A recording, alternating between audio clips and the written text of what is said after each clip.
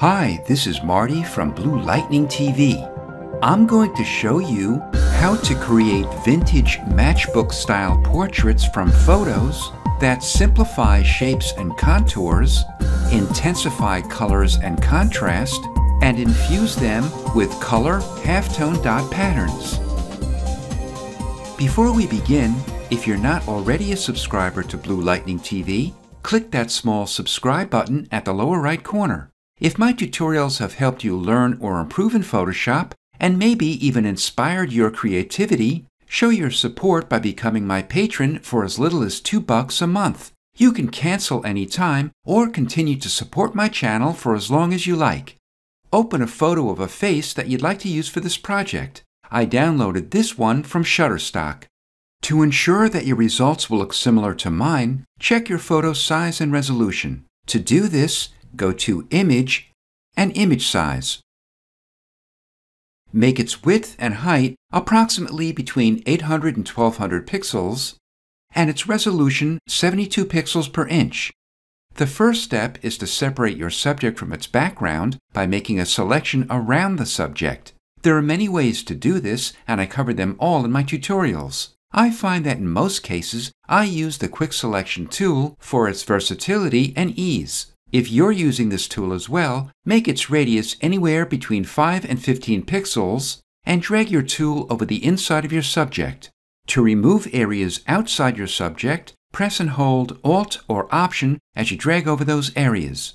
To refine its edges, go to Select. If you're using a version earlier than CC 2015.5, click Refine Edge. However, if you're using CC 2015.5 or later, click Select and Mask, or you can open Refine Edge by shift-clicking Select and Mask.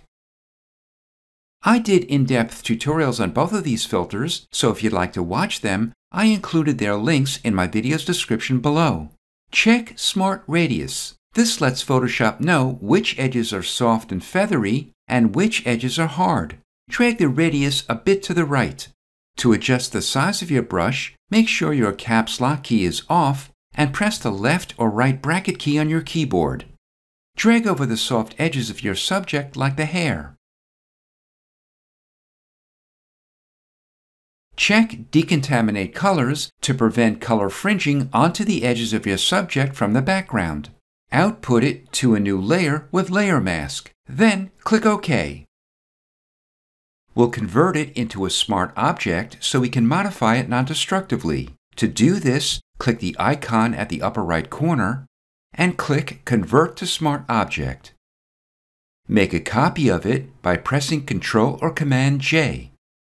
Name the copy Color Halftone and temporarily hide the layer. Make the bottom layer active. We'll make a new layer above it by clicking the New Layer icon. We'll fill the empty layer with any color for now. The color doesn't matter since we're going to add a gradient overlay. I'll fill it with my background color, which is white, by pressing Ctrl or Command plus Delete. Double-click the layer to open its layer style window. Click Gradient Overlay and the Gradient bar. Click the black-white box and click OK. The blend mode is normal and make the opacity 80%. Check reverse and align with layer. Make the style radial, the angle 30 degrees, and the scale 125%. If the gradient isn't centered in the preview window, simply drag the gradient and release until it looks centered in the preview window. We'll brighten the detail in the darkest tones of our subject by first making our visible subject layer active and going to Image, Adjustments, and Shadows Highlights. Drag the Shadows Amount slider all the way to the left to show the photo as it normally looks, and then slowly drag the slider to the right until the darker areas brighten just enough.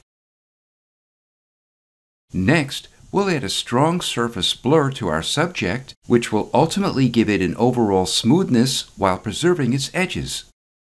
Go to Filter, Blur, and Surface Blur.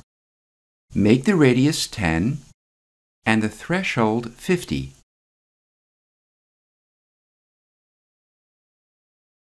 Double-click the Blending Options icon and open your list of blend modes. Click Lighten.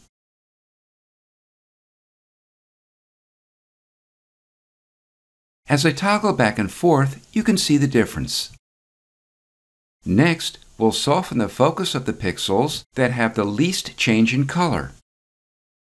Go to Filter, Stylize, and Diffuse. Tick Anisotropic. We'll give it a painterly look by going back to Filter, Stylize, and Oil Paint. The stylization is 4, the cleanliness is 10, the scale is 0.1, and the bristle detail is 10. Make sure lighting is unchecked. Next, we'll increase the contrast of edge detail, which creates the illusion of a sharper image. Go back to Filter, Sharpen, and Unsharp Mask increase the amount to 270%, the radius 40 pixels, and the threshold 20 levels. Next, we'll reveal the detail in the eyes. Make the layer mask active. Open your brush tool and brush picker. Pick a soft round brush. Make the size 10 pixels the hardness 0%, and the opacity and flow both 100%. Carefully brush inside the eyes to reveal their irises and pupils. Let's save some space in the Layers panel by clicking this tiny icon to hide the smart filters. Make the top layer visible and active. Change its blend mode to soft light. Go to Filter, pixelate, and color halftone. Make the maximum radius 4 pixels. The screen angles are 108, 162, 90, and 45.